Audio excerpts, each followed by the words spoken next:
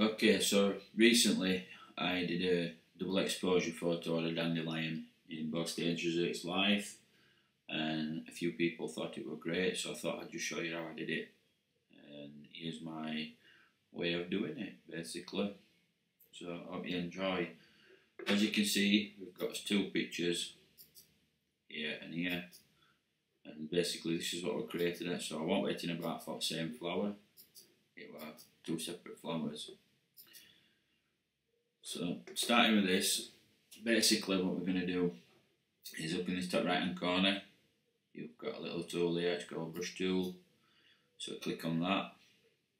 First thing to make sure is, is when you come down this list auto mask there's a little tick box there make sure you've got that ticked. Slightly up to the top you've got exposure.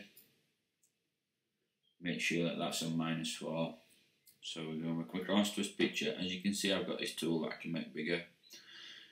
The inner darker circle is the point that it goes to and the ag cycle is like a feather so it's stronger in the middle and less stronger on the outside.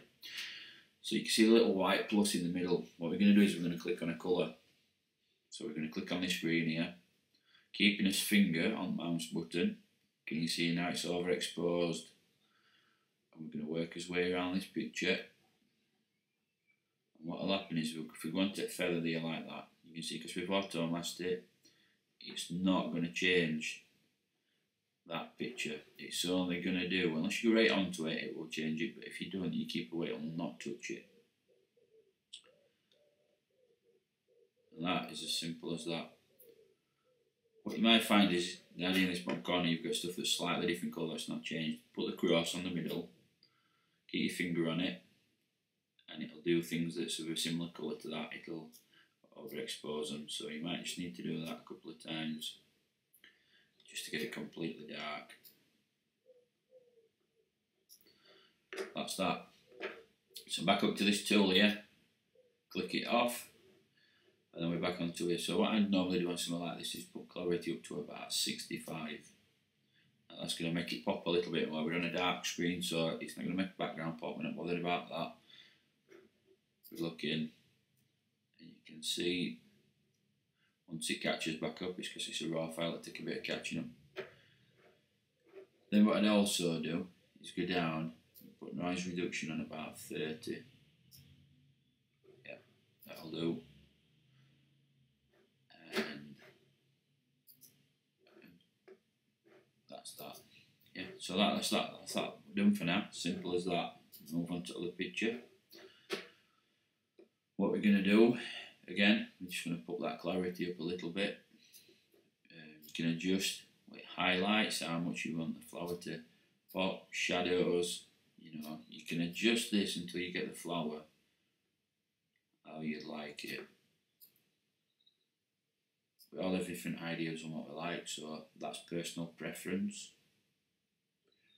So again then back up to the brush tool. Again exposure minus 4 back across to the picture. And we're going to work around this nice and dark again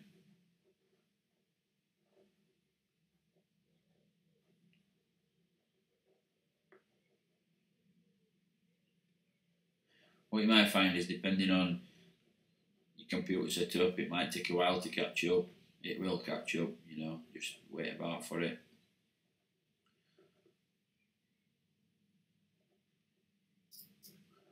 Again if you've got someone that's not getting picked up come back off it click on your mouse button again and it will find it. Now what I've done is I've left a little bit oh, until I light I'm going to leave that little bit of stem on there because it'll help me line flower up yeah so if at any point you go too far, you make something dark, if you press Command and Z on Mac or Control and Z on PC, it will undo your last move. Simple as that. So we've got that as we want it.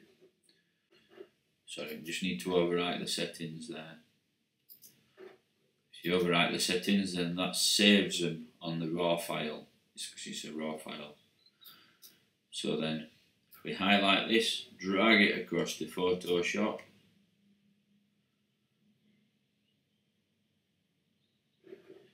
It's going to bring camera raw up because it's a raw file.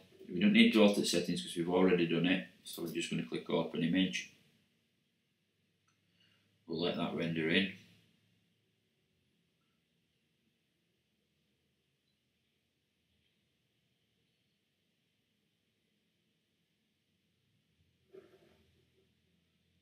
We. Once that's done, back across to Lightroom.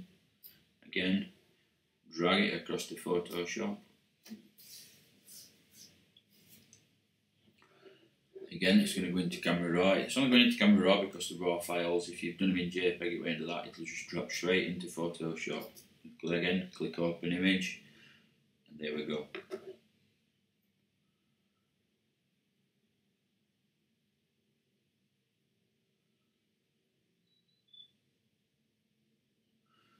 Superb.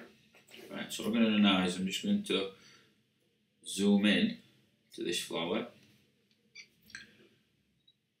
And then what I'm going to do is I'm going to come across here and click quick selection tool. You need to make sure that it's on the plus. Up here you've got a brush size. alter the size of your brush, make it smaller. So There we go, we're going to start selecting that. It don't matter if you go into black because we're working on a black picture. If you are working on another background, that's something different. We'll do another video on that if you want me to. All you've got to do is ask and I'll show you how to do it. Just going to bring down and copy a little bit of that stem in so that it helps us line it up with the other flower when we've done. Click on the minus sign, you can come back up. As you can see, it'll take a little bit of that picture back out. Once we've got to that stage, what we're going to press is Command and C on Mac, Control and C on PC, which basically copies what you've already got in the highlighted section. So then we'll go across to his other picture. Again, I'm just going to zoom into this, it just makes it a little bit easier. And then Command and V we'll paste the other picture over the top, or Control and V on PC. When we got here at this stage, what I'm going to do now is I'm going to press Command and T, and basically what that does is that highlights the box so that I can move it around wherever. So what I'm going to do is I'm just going to basically line that stem up, something like. Now, if you put your finger on the Shift key, when you move this box, it'll all expand at the same rate. So if you watch here, if I've not got my finger on Shift key, it can go to any size. To get that back, Command and Z bring it back to what it was. If you've got your finger on the shift key while you move it, it moves about, no matter where you move the mouse, it'll only expand uh, at the original drawing size. So it stays as it should do. So there, I'm just going to line that summit up like. Now I'm just going to take it slightly bigger just so it pops out on that side. At this stage, we've got that there. I'm going to press enter and that drops it onto drawing.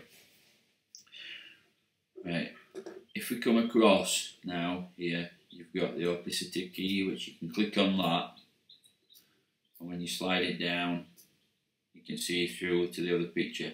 Now some people try doing it this way and it don't look as good, I'm going to show you a different method. So if you leave that for now, if you come across here we've got this box that says normal. Yeah. And then we've got lots of different things here. So I'm just going to click on lighten. And there you go. Something completely different. Now what you can do is uh, you can click on background or you can click on that and you can slightly adjust these. Yeah, but you don't need to do that. We're going to do that in Lightroom shortly. So we'll leave that as it is there.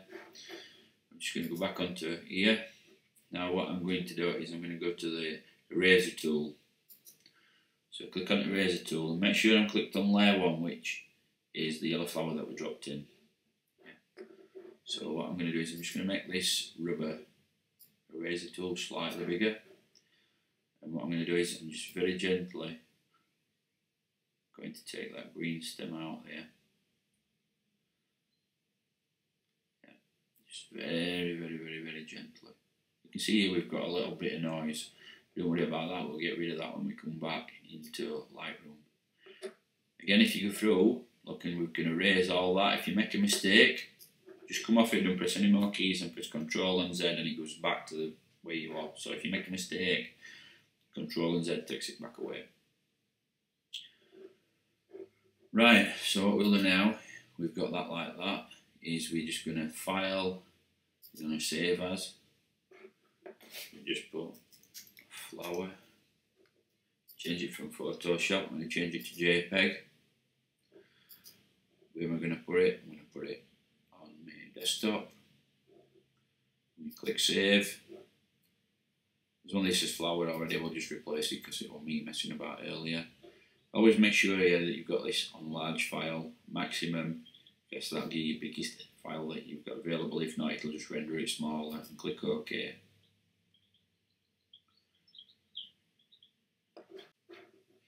So what I'm going to do now is I'll click on here and I know that that's the picture so what I'm going to do is I'm going to drag it into Lightroom.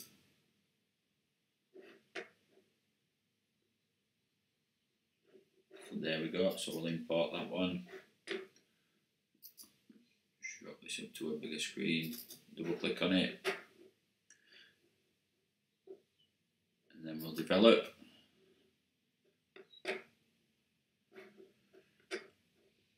Now what we're going to do is we can play our different settings here. So wise, you can adjust everything to your suiting. At this stage what we would do is we'd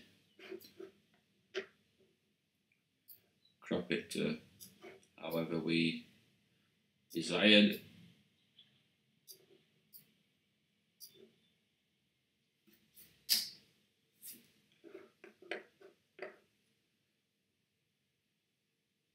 there you go, that is exactly how I did it. So, thanks for watching.